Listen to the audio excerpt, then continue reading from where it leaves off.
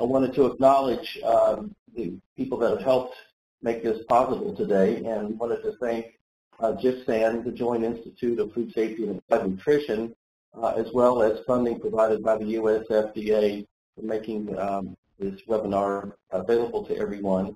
And the presentation by myself will be from the Tasmanian Institute of Agriculture.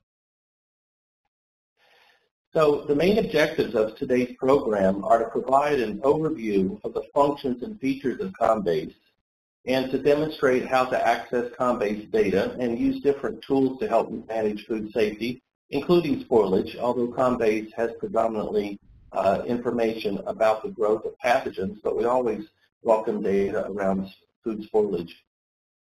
At the conclusion of the webinar, um, participants will have a basic understanding about how to navigate COMBASE features, how to retrieve and interpret data records, how to estimate microbial kinetics with models and use modeling tools, and know the basics about how to donate data to COMBASE. So I'd like to give you a brief history of COMBASE to let you see or understand how, we, um, how we've gotten to where we are today. Launched about 18 years ago, COMBASE is a collaboration between the University of Tasmania's Tasmania Institute of Agriculture and the U.S. Department of Agriculture Agricultural Research Service. The Tasmanian Institute of Agriculture is currently COMBASE's managing partner, meaning we're responsible for the day-to-day operations and implementation of the strategic plans. Now the COMBASE partners have changed over time. Uh, beginning in 2000, uh, when COMBASE started, it included the UK Institute of Food Research, the USDA ARS, and the UK Food Standards Agency. In 2006, the University of Tasmania joined the consortium, and in 2010, the partners were IFR, USDA, and the University of Tasmania. As of April 2016, the partners are the University of Tasmania and the USDA. I'd like to mention that importantly, behind the scenes, Mr. Daniel Marin, the COMBASE technical manager, who is based in Madrid, helps us design and produce the COMBASE database and the model interfaces. And Daniel's been with COMBASE, um, I think, for about 15 years, so he's um, a really essential part of what we do. Also supporting COMBASE are the generous sponsors who help sustain our core functions, which are currently Unilever, the Coca-Cola Company, and the American Food Institute. And we do hope that other organizations will also consider becoming COMBASE sponsors. In November 2016, an advisory group was formed, and this group helps us develop both short and long-term strategies that increase the value of COMBASE to the food community. The scientific group helps implement this strategy by providing advice about how to fill data gaps, develop new models and features, promote data donations, and also identify effective ways to network and uh, train COMBASE users. Now, we're always interested in expanding the skills and geographical representation of our scientific group, so please contact me at mark at combase.cc if you're interested in joining us. Now, before we take a look at the different features in COMBASE, I'd like to briefly discuss several factors that make COMBASE highly relevant today.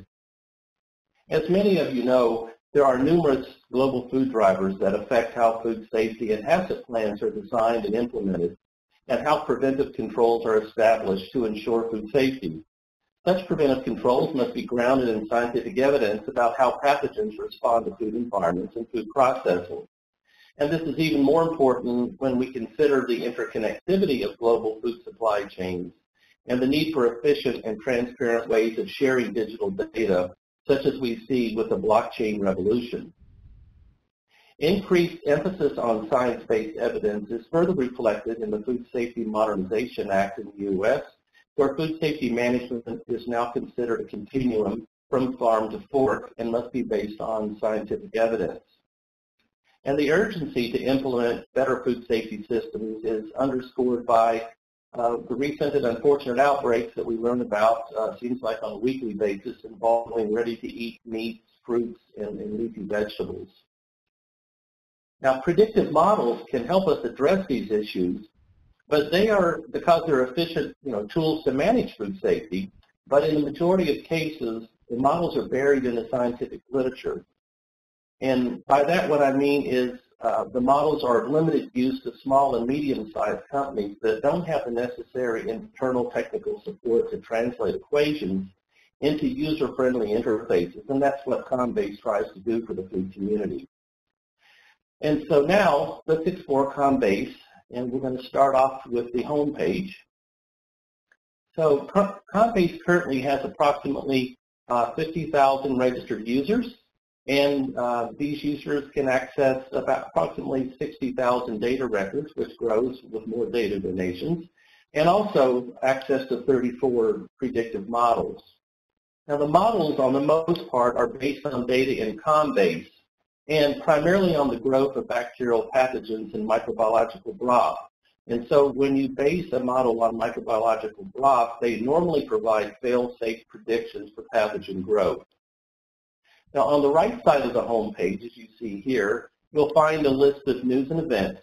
And these are typically news about upcoming food safety conferences and Combase workshops. If you have anything you would like us to post that's relevant, please don't hesitate to send it.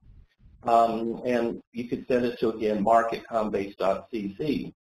And below this is a newer section that we added to Combase, which is about job opportunities that are relevant to the predictive microbiology community. And you can see here a job currently open uh, with Unilever in the UK. And then below this are RSS feeds of the latest journal articles that we locate um, on predictive microbiology and risk assessment. Now above the events section are links to Combase Facebook, Twitter, and LinkedIn accounts. And then under these are buttons to translate portions of the home page into Japanese, Chinese, and Spanish. Now let's look at the Combase team page just quickly. On this page, you will find the Combase partners that I mentioned earlier, as well as the donors, our advisory group, and also the Combase scientific group. On the contact page here is a list of persons trained to assist you with most technical questions. Now the first email address here is contact at combase.cc. So that's the first point of contact if you'd like to do that, or you're welcome to contact the other organizations here. Most of these have had a long history with Combase, and they include the Center for Food Safety and Innovation at the University of Tasmania, the U.S. Department of Agriculture, the Food Department uh, in the University of Querétaro, Mexico, the Safety and Environmental Assurance Center in Unilever, the National Food Research Institute in Japan, and the Department of Food Science and Technology, Agricultural University of Athens in Greece. After you've logged in and registered, you can then access all of the other resources. And again, there's no fee to do this. So I've already pre-logged in prior to this webinar. Um, so here, um, we'll start off and look at the browser. So the browser, as you can see, is at the top of the navigation pane. Um, the browser allows you to search tens of thousands of data records that have been deposited in the Combase and you search the database by selecting specific search criteria. Now, I, I would like you to note that up here is a button that translates um, the majority of the text, not the numbers, but the text into Mandarin. Now, the first step you need to, to decide is whether you want to retrieve data for microbial responses or if you're interested in locating the sources of data. So you can click on either of these tabs to make that selection. But first, I want to demonstrate how to retrieve records for microbial responses.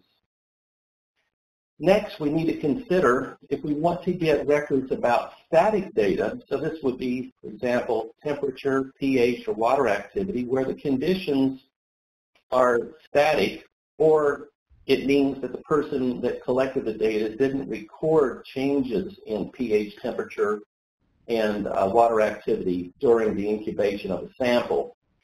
Uh, so that contrasts what I've just described, which is dynamic data, uh, which uh, is data collected that shows how environmental conditions change over time. But for this example, we'll search the database for any static or dynamic record. Now, suppose you want to deposit your data into Combase, but you want to wait until your manuscript has been accepted by a journal. Uh, in this case, we have a private section where your data can be archived while you wait for your paper to be published. And once it has been published, you can then make your data public. However, we want you to please note that if you haven't deposited data in the private section, then these cells here will not appear on this page at all. And if you need help at any point, you just click on this question mark in the upper right-hand corner. And you can also view um, some information here that we have uh, in our help section about COMBASE tutorials, about how to use the, the browser, and some other information. So now let's specify some search criteria. So we click this drop-down button, and you can see that we have 10 different criteria or fields, which include the organism, which can be a species or a group of organisms like lactic acid bacteria, a food category, uh, which is broad categories of food, a food name, uh, a common name for a specific food type, and this is a feature we've added in the last couple of months. Uh, conditions, which are characteristics of the food environment, properties, uh, which are properties or treatments of the inoculum, the bacterial or yeast inoculum, the temperature, the water activity or sodium chloride concentration, the pH, the author of the data record, and lastly, the record ID. So we can select all or any of these to do a search. For each of these criteria, such here we're looking at organism, you could select just one organism or you could do multiple organisms. And you can do that for most of our search fields that we have here. So in this example, what I'd like to do is um, select three organisms for this example. And so we can scroll down and select, for example, E. coli. But if we, if we think we know what's already there, we can type in, for example, Listeria and add that.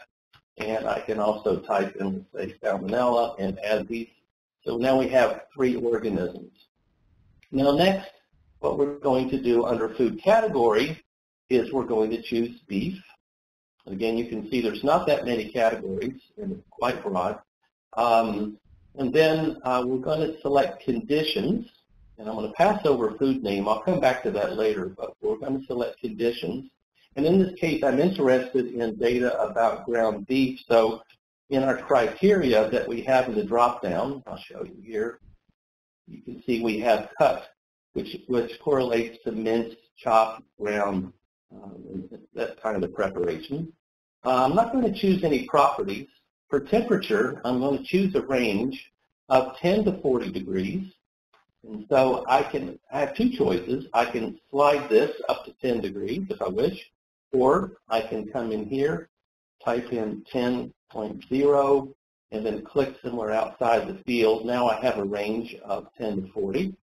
Um, we're going to add another field here for sodium chloride, and I'm choosing a concentration of 0 to 3%. Now you'll see here it always defaults to water activity, but by clicking here on sodium chloride, I can then change 30 to 3.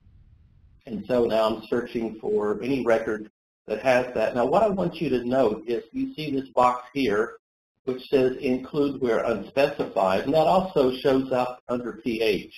And what this means is if you collect, if you click this box, it'll retrieve any record that meets all of the other search criteria, but doesn't necessarily meet water activity, or in this case also pH. And the reason for that is some authors of records have not measured the pH in, in the food uh, for the food or the environment that they donated the data uh, into Combase. And so now what we do is we click search and we see that we retrieve 17 data records. Now, for this example, I wanted to go back and show you maybe a more efficient way of retrieving these same 17 records, and that would have been to have this field that I mentioned for food type. So that's a very specific name for the food. And so to do that, I'm going to delete, you see the X button, I'm going to delete food category. I'm going to delete conditions. And here I'm going to select food name, and I'm going to type in ground beef. And then Let's do the same search now. Just want to correct this water activity. Salt concentration there and click search. And what you see is we were able to find the, same, the same 17 records by uh, searching on this food name. I mentioned earlier that this is a new feature that we've added to Combase, and I think most of our users will find it's one of the biggest developments or most helpful developments we've had to Combase in that instead of searching through tens to hundreds of records under very broad categories, looking for a specific record on, on a food type, you can now type in cheese, ground beef, any particular name like that, and it will only find those records for that food type. Now, by selecting this drop-down menu, you can see that we can sort the records in different ways. We can sort them by organism, food category, temperature, pH, salt or water activity, author, COMBASE ID, or the date that the uh, information was added to COMBASE. And we're also going to be adding that food name category as a sortable criteria um, in, in, the next few weeks. Um, so you can see that, and also I want to show you that if you click here on any of these, you can uh, select up to 20 and then click, click export and then download those specific records. So they will be downloaded as a CSV file, and I'll give you an example of that in a moment. Now, if we want to know the source of these records, you might remember that I said earlier that instead of looking for specific records, we can look for the sources of information by selecting source here and then clicking search what we find is that these 17 records were donated by the USDA Agricultural Research Service. And we see that within Combase, this source uh, has donated uh, 531 total records that we can access by clicking here. But you'll see below this, it says 17 matching your search. So what you see in italics that I'll click on now uh, identifies those records that match our search criteria. Now, the search results provide a snapshot of each record. So, for example, you see we have the food category here. We have the food name, which is always next to the species name, but again, we're going to add it as a new sortable category down here in the near future. Uh, we also have um, the, the temperature, the water activity, pH, conditions, the number of times this record has been viewed, the number of times it's been downloaded, and the date that it, that it was added. Now you see here it says not available, and the reason for that is this is a feature that we added last year in September, and so we only have uh, that information available for any data that were donated after September of 2017. Now let's examine an individual record. In the upper right corner here, or right there in the center right, you can see the record ID. Uh, in the top section, we find the same information that we saw earlier when we were looking at the uh, search results. However, below this, we see properties of the bacteria. We see the strains that are specified. We see a, a snapshot of the experimental details and um, the, the way that the authors measured the microbial growth or inactivation any comments that were added, um, and then the same information that I described earlier. We can click here and select open, for example, with Excel, and this is what it looks like when we export that file um, as a CSV file. So you see it doesn't contain all the depth of information that we, that we see when we're using the actual interface. So I'll minimize that and go back to what we're viewing. Now, we can view the data, as you see here, in graphical form, or we can view it in tabular format by clicking here. So you can just you know, cut and paste this data and put it right into a spreadsheet if you wish. When we go back to the graphical form, um, I want to show you how we can use um, some primary models to fit the data. So um, we can collect fit here, and we see options that show up. Now, these options that appear are selected uh, by the algorithms to reflect what could possibly be used uh, with the shape of the data or this particular data format that we have. So we see here that we have five options, and these are the Baranyi and Roberts complete model, the Baranyi and Roberts model with no lag, a trilinear model, a biphasic model, and a linear model. So I'm going to select the Baranyi and Roberts model, and now we see the output below. So it's a nice fit to the data. We see the R squared is 0.995. We see the standard error of the fit here. We see the predicted initial value, that's at T0. We see the predicted lag or shoulder if it's inactivation. We see the growth rate is 0.104, and that is log CFU per hour. And we see the predicted final, final value here that's 9.491. Um, now, I want to also point out something that some, not, not everybody knows is that you can move your mouse along this line, and you can see X and Y coordinates um, along the along the fitted line. Now, you might also be interested in knowing how these data, so if this is a data record that someone deposited, they might be interested or you might be interested knowing how it compares to one of the ComBase models. Now remember, the ComBase models are graph-based models. So what the algorithms in the background are doing is saying, do we have a model in ComBase predictor? We'll be looking at those a little bit later. Do we have a model for E. coli in broth that matches these conditions, so 15 degrees, and possibly matches water activity or pH, but it's, it's focusing here on temperature.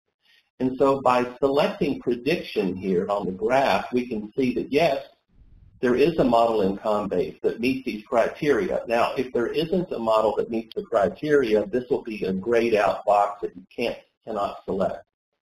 So we're going to pick this here, and as we can see, the predicted growth rate, we'll move down here. So this is the prediction based on the broth model.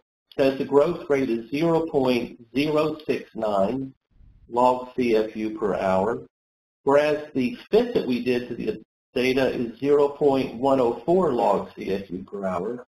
And so that we and so we can see that this broth model is certainly not a fail-safe or appropriate model to be used in for the prediction of growth of E. coli in, um, in, a ground, in this particular ground beef data, ground beef uh, sample, at least for these conditions of temperature, water, activity, and pH. Now, a helpful feature of the prediction is that you can modify the model input. So for example, maybe you're trying to, maybe you're asking a question about what would the conditions in the broth-based model be that would more closely match up with what we see here um, in the observed data. And so we can do that, for example, I could slide my um, physiological state, which is the lag phase like that. Um, I might change the temperature and then begin to tweak these so that they more closely approximate what we see here.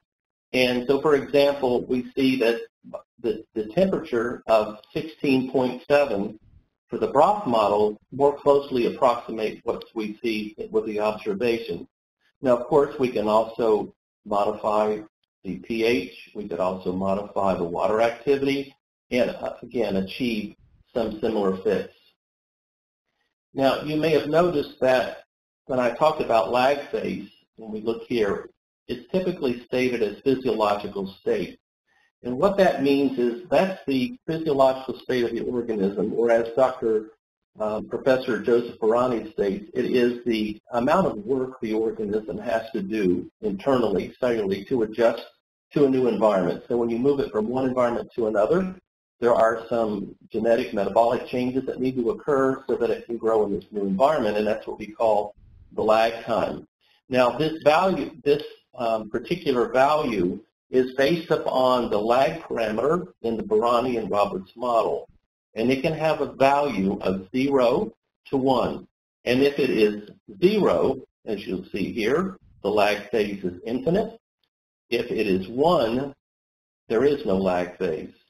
And in general, because lag time is very difficult to predict unless you have a lot of data to support it, we recommend that you set this value to 1 in most cases so that you get a fail-safe prediction. Now, I'd also like to show you the example of a dynamic record, and to do that, I need to go back to the results. And in the results here, um, one more step back, I'm going to select, go back to responses, and I'm going to select dynamic here. And I'm also going to delete ground beef because the dynamic model I want to show you is located uh, in another category of food. So for example, here we see E. coli growth in a type of cheese. Um, and here you can see the temperature profile here in red. But you can see the authors also measured the uh, pH as this particular uh, cheese product was ripening. And up here we see water activity, which was also measured. So this is what we refer to as dynamic environmental data. So this concludes what I wanted to present to you about the database. Uh, and if you have any questions, of course, please don't hesitate to ask at the end of the webinar or contact me later at mark at combase.cc. So now let's visit the Combase predictor. So I'm going to select it here. And we see that the Combase predictor contains, as I mentioned earlier, broth-based models. We have 25 for growth. We have seven for thermal inactivation, and we have two for non-thermal inactivation. Now, if you're interested in accessing food-based models, then if I just take you down here to other resources, uh, please visit these links. So here we have CB Premium, which is a new product from the University of Tasmania that is entirely food-based models. Um, in Denmark, uh, Paul Dalgaard hosts the Seafood Safety and Spoilage Predictor, USDA Pathogen Modeling Program, and obviously there's quite a few more here that you can access. So do that if you're, if you're mostly interested in a model for a specific type of food. Now, for each growth model, you can set the initial level or lag phase temperature, pH, water activity, like I showed you when we were looking at an individual record. And the predicted growth rate and the doubling time, which is just a, a conversion of that into this value, are shown here. Um, also, I wanted to point out, and again, this is something that not a lot of us know about, but if you right-click on the graph, you can insert a horizontal um, uh, crosshair, or you can put a vertical crossbar in here, and that might be useful if you're trying to locate a particular intersection of time and microbial growth. Now, you can also make predictions for dynamic temperature conditions, such as those that occur, uh, you know, when a food is in transport or storage. And for that example, I'm just going to bounce over here to a temperature profile for you. So I've got a sample dynamic temperature profile that I'll copy and paste. So it's that simple to just paste it into these cells like that. And so what you can see here is that we've got a dynamic temperature and a predicted growth, in this case of uh, Aeromonas hydrophila. Um, and so that's an example of a dynamic temperature profile.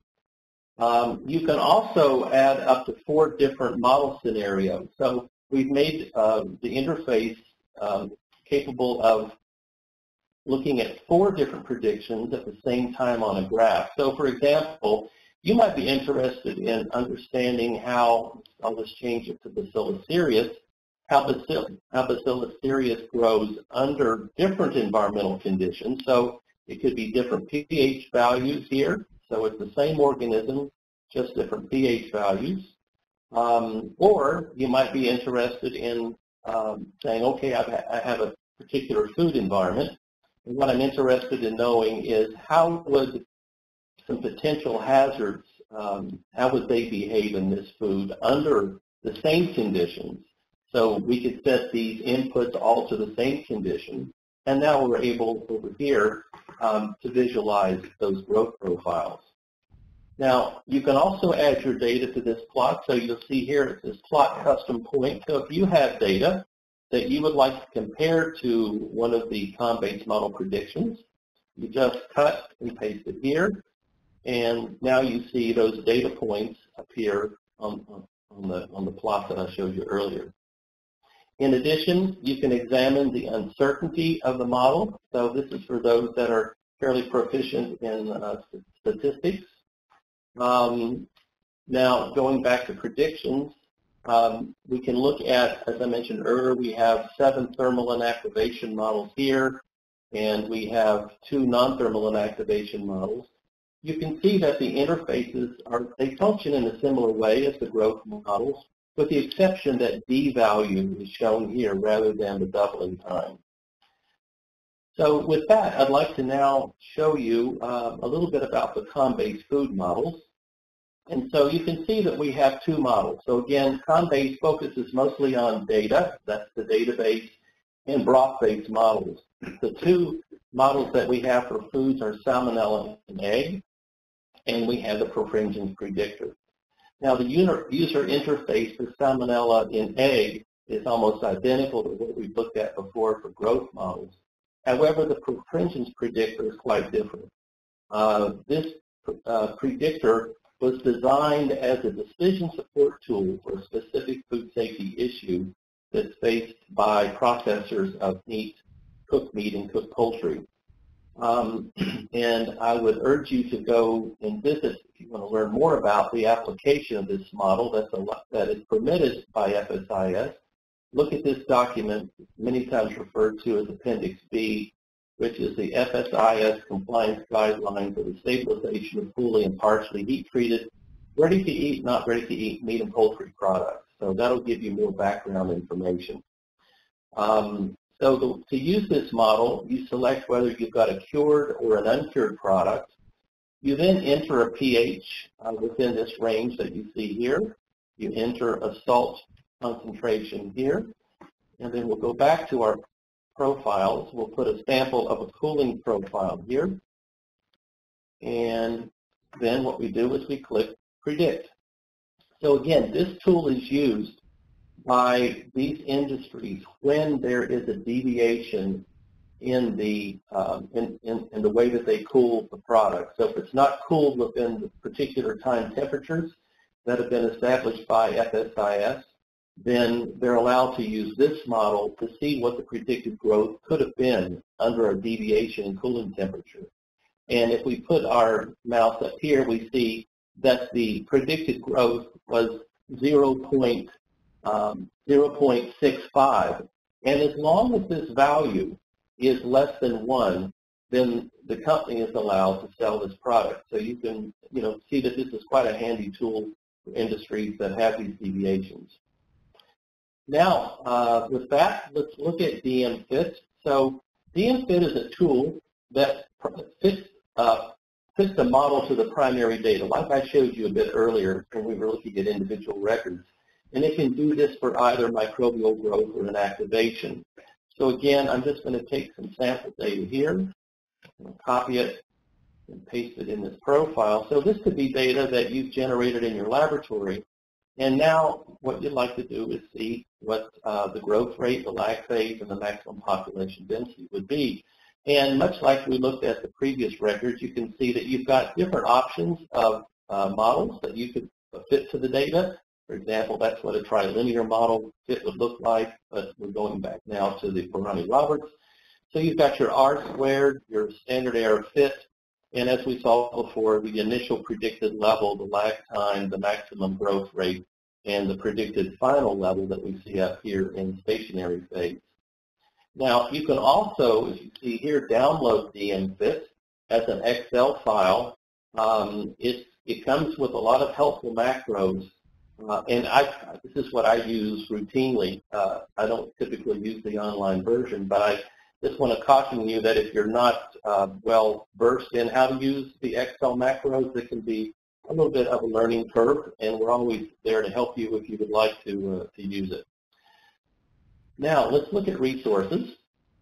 Uh, under resources are the same uh, you know, resources I showed you earlier, uh, other websites that host different types of predictive models. And then in the health section, uh, here we have in-depth information about ComBase predictors. So it really goes into a lot of detail about how it was developed, assumptions, and I encourage everyone to read that uh, if you're using that predict the predictors as well as the same type of information or details for perfringens predictors, the salmonella and liquid egg model, uh, DMFit, uh, how to donate data, frequently asked questions, and uh, links to ComBase uh, YouTube tutorials. And, and we're adding new tutorials on a regular basis, so um, you'll notice that I'll occasionally send out emails to registered ComBase users to learn more about those. Now going back to data donations, we can access data donations also on the home page. I just wanted to emphasize that you know data is the core of ComBase and what we need more of uh, because the main value of ComBase um, is its data.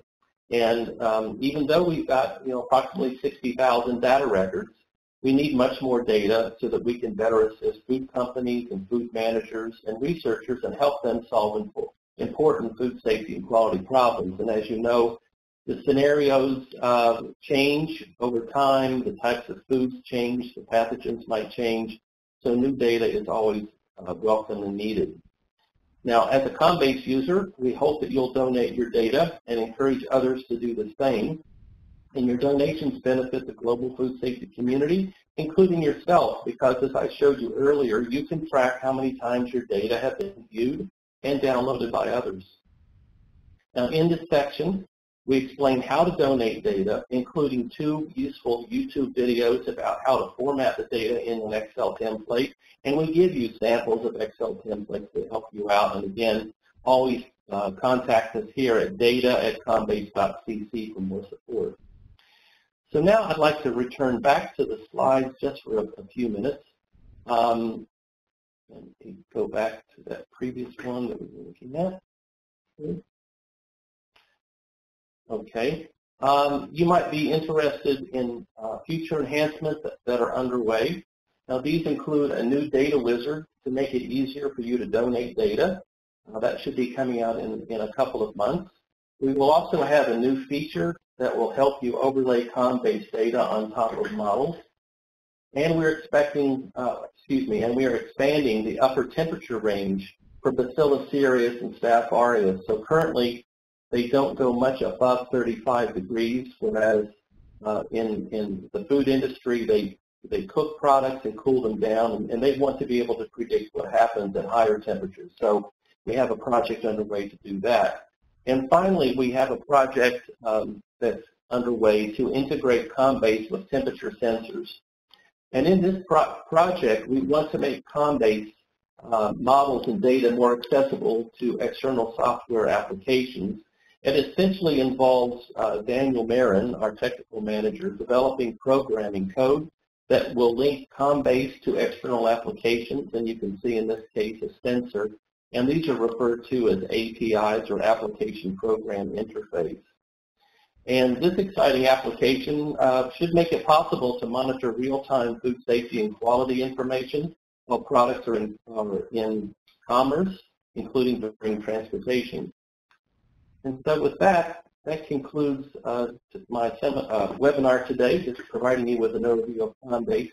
And uh, thank you for your time and look forward to your questions. Mark, thank you so much. That was absolutely fantastic. Thank you. Um, for people who are connected to the webinar, we'd love to take your questions. We don't have any yet. Uh, to get to the Q&A box, you may have to exit from uh, full screen to begin by mousing to the top of your screen, exiting full screen, and getting to the Q&A section. Uh, you can also post your questions in chat, and I can pose those forward. Um, we want to mention that uh, for the data donation tool that is coming, uh, we will plan on doing a webinar to talk more about that tool. Uh, Mark, would, is that expected later this year? Yes, uh, we're going through beta testing at the moment, and uh, we're expecting to have that available in um, uh, probably the latter part of next month in August. Great. Um, I have a question for you. So uh, what interests me is, is I'm a programmer. We often are using uh, APIs to databases to do more uh, with the databases that are available. Uh, you mentioned um, more up-to-date and more um, uh, uh, timely data in, in ComBase, are you seeing the API uh, be a tool in which uh, data gets inserted into the database more frequently? Uh, well, at the moment what we're envisioning is that the new data wizard will, will help accelerate that. Um, just to give you a, just a brief perspective on that is that we as far as data collection, what we have found to be the most effective is our data team locates particular pathogen food combinations and we contact authors. We found that's the most effective way of getting an author to engage with us and then we help them donate their data. So while the data wizard, we hope to make it even easier to do that, um, you know, we typically rely on that on that uh, contact. In the case of an API, what, what we're envisioning is that API is going to, so for example, if you have a temperature sensor um, that is collecting, of course, time and temperature data, it will send a call that will go out to Combase. So that it would say, this is the temperature of my product. It would go out to Combase. That temperature then is in, serves as an input into whichever Combase model has been selected by the user and then returns to the interface, that is the sensor interface, will, will return what that growth rate would be. And so what we would see is as the product is moving through commerce, um, several companies currently have real time where you can go onto a web interface, and you can see your product moving, and you see your time temperature profile. And what the user would be able to do is overlay the predicted growth of a spoilage or a pathogen organism or a prediction about shelf life. Great. I, uh, I envision us uh, starting to implement something like that API into tools like iRisk, you know, and getting risk modeling to be easier to do uh, and easier to create models on the fly and faster uh, in the future. Uh, that sounds exciting. We'd be very happy to work with you on that too. Yeah, absolutely. Um, so we do have a question. Uh, how do you vet donated data, uh, and will that change with the new tool as well? Uh, well, in fact, that the new tool is going to uh, help us do a better job of, of um, vetting the data. So the way that we get this, you know, this is a common question and a good one. Um, the way that we um, the way that we perform quality control on data is, is think of it similar to a journal article. Uh, you know, the journal article, there's a peer review process there's uh, an examination, you know, of the data that have been presented, and then a decision whether or not it's acceptable for publication. Now, in the in the majority of cases, reviewers of journal articles don't look at the raw data. They're just they're only looking at you know outputs of the raw data, like predicting growth rates and that type of thing. So what we do when we when we receive the raw data, we we format it. Uh, we perform some quality control checks. For example, uh, uh, you know, person may have mistyped uh, a log CFU and put in log 24 instead of log 2.4. And we have macros that catch that. Um, and then once we formatted the data, we go back to the, the donor of the data. We show them how we formatted. We all also typically have secondary plots. So if, let's say, for example, data has been collected about um, the growth of an organism over different temperature conditions, we'll do a secondary plot to be sure that, as we would expect, growth rate should increase with temperature. And so we present all of that information back to the data donor and ask them if they agree that the data are um, are accurate and we have the permission to, to donate it. So, um, you know, we can't say that it's 100% accurate all the time, nor can we say that every journal article is 100% accurate. I can tell you from you know real experience is that we probably can say that we add value onto journal articles because in, it's not uncommon for us to find um, some errors in the raw data, and we can then make that information available back to the author, and then we can also make those corrections in the data that are um, uh, deposited in the Combase. But the, the new data tool, the wizard is going to have more built-in quality control checks that will help us do that more efficiently. Great, thank you. Uh, I have another question. Is in the presented data on E. coli in ground beef, what is the difference between the prediction option versus the growth kinetics given by the Baranyi-Roberts model? Okay, so the would you like me to go back to that slide? We'll just talk I think that would be helpful. Okay. Um, let me go back to that slide. Uh, while you're doing that, I can comment on another question, uh, which is how can I obtain a copy of the presentation? So we will be uh, following up after this presentation or, this webinar uh, with files, um, including the presentation. We also have recorded today's presentation and we'll be hosting it on YouTube. I'd like to uh, have everyone go to YouTube and search Combase. You'll see that there is a Combase channel that Mark has put together, uh, which includes some uh, information on Combase as well as where we will host the webinar um, uh, once we've processed and got it published. Okay. All right, back to you, Mark. Yeah, well, thank you for helping fill, fill in some time to uh, I'm just adding these other uh, categories for the, we can take a quick look. Okay, uh, let's see. I, probably I'll put in also salt concentration that we spoke about earlier, and that should be enough, I think. Let's see. Okay, so the, I'll just go to the record that we were looking at, and the question was, um, would you please read that back again? Sure, let me pull it up. The question was, in the presented data on E. coli and ground beef, what is the difference between the prediction option versus the growth kinetics given by uh, Baranyi and Roberts' model? Okay, so when we have uh, the data record, so this, these are the raw data, we have an option of fitting it and or um, comparing the fit to the prediction that's, that's based on the broth-based model. So if I click fit, I, I can, for example, I can choose this model, Baranyi, the complete model. I can choose a no-lag model. I can choose a trilinear model. I can choose a I can choose a biphasic model, you know, a linear model, and so on. So when you select a model, uh, obviously, you know, evaluating the R squared value can tell you which one has the, the best fit. Um, so so now I see what, for example, here, my, my growth rate is 0.104 log CFU per hour.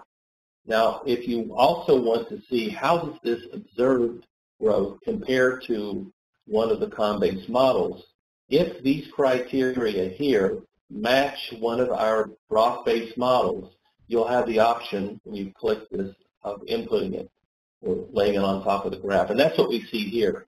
So what we see is that uh, obviously, the broth-based model says there's a much longer lag phase uh, than we would see uh, in that the authors saw when they inoculated ground beef, and that's not unusual because in general, there's a shorter lag phase in a food than there is in a broth. I don't know the reason why, but that's not an uncommon observation. So um, as I was saying earlier, what we could do is you could adjust that lag phase and say, okay, uh, it looks a little bit more now like what the observed data. But you see still that the growth rate is 0.6069 versus 0.104. So still it says that the growth rate is less.